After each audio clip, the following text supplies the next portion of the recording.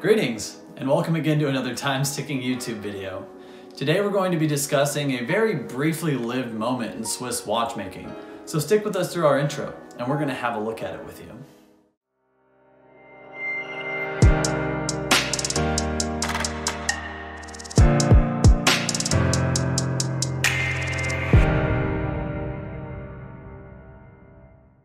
Now, is it better to burn out or to fade away?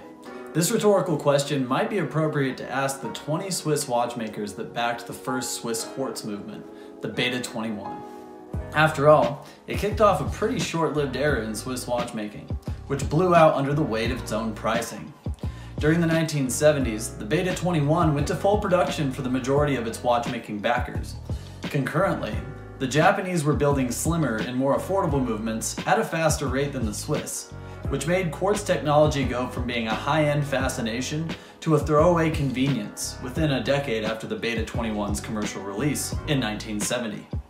This watchmaking competition in horological history would become what's known as the quartz crisis, a subject we've covered in a previous video.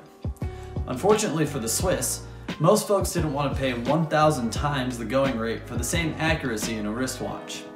Though the artistry of the Beta 21 and its accurate timekeeping were on par for excellence, the established brands that tried to get ahead of the curve on quartz watchmaking just couldn't keep up with Eastern quartz innovation.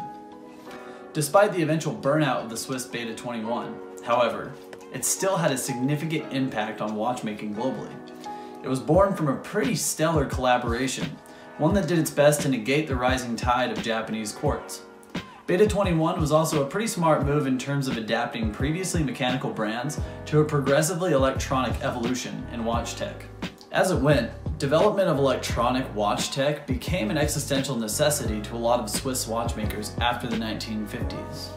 It was during that mid-century decade that Hamilton, Elgin, and LIP developed and released the first electronic wristwatches. After these debuts, many Swiss watchmakers did not want to be usurped by new technological developments. As a result, the group CEH was established in the early 1960s. CEH was a conglomerate of 20 maisons, or houses, in Swiss watchmaking. After nearly six years of R&D, the first prototype of the Beta 21 was made. This creation is often argued as being the first true quartz wristwatch. The accuracy of this prototype, titled Beta 1, was refined into an award-winning second prototype, the Beta 2. By 1969, with beta testing for the Beta 21 finalized, all Maisons involved in CEH agreed to put their new quartz movement to production. Coming in just after the commercial release of the Seiko Astron in December of 69, the first watch models featuring Swiss Beta 21s were presented at the Basel Watch Fair in early 1970. The first production watches featuring the Beta 21 were the Omega Electro Quartz watches. These watches, along with other watches from Rolex, Patek Philippe, and other Beta 21 influencers, saw a limited release. Many of these watches were stamped for authenticity to establish exclusivity. Omega would be the longest running employer of this movement, continuing production from 1970 to 1977 but would nearly go under due to the falling costs and rising popularity of Japanese quartz watches. From 1972 to 1974, brands like Rolex, Patek Philippe, IWC, and another chunk of the original backers took on the updated Beta 22 movement. The production and R&D costs became too high for these watchmakers to continue use of the Beta movements, so many turned to designing their own in-house quartz movements. Rolex made one of the more famous iterations of their own in-house movement, they called it the Oyster Quartz.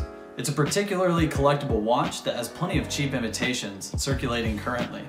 Although the original Beta 21s and 22s didn't hit the ground running, they've become a veritable collector's delight.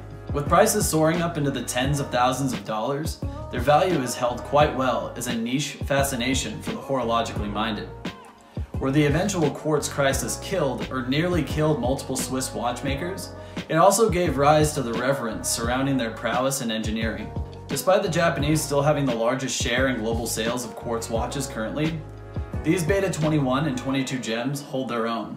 So perhaps burning out is better than fading away, considering you have the opportunity to rise from the ashes with uniqueness and gusto that is otherwise alien to the omnipresence of modern quartz watches. Hello, and thanks for watching our YouTube video today. If you enjoyed it, please give it a like, and you can find similar videos right here.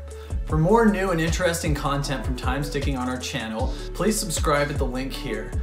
And for more information about wristwatch repair and watch maintenance generally, you can find us at timesticking.com. Thanks so much and have a great day.